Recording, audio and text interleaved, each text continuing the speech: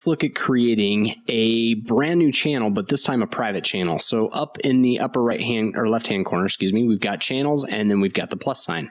I'm going to use the plus sign to create a new channel. But this time, instead of leaving it public, I'm going to select it to private. Now notice that this changed from a hashtag to a lock. That means it's going to be private. And I'm going to call this small groups. And this is going to be, the purpose is to discuss small groups.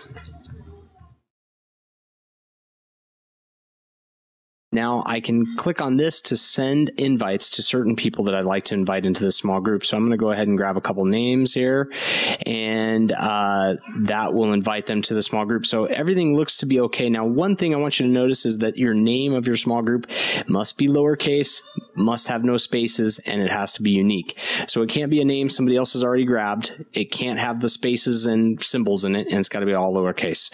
All right, now I'm going to go ahead and create the channel. Now, once I've created the channel, it takes me into it. You'll see that here I'm in that small group channel. And you'll notice that it's invited these two people to join the channel. And currently it shows that there are, are three um, listed and it looks like two out of three are actually online right now. So they would actually get that message instantly and be able to join that group. That's how you create a private group.